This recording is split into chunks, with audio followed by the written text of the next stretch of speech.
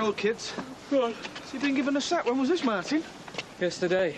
So I've got a lot of time on my hands. Oh, well, I hope we find something soon. Yeah, can't say it myself. Anyway, can pick the kids up from school tonight if you want. Ah, I'm all right for today, thanks. All right, well, any other time, just give us a shout.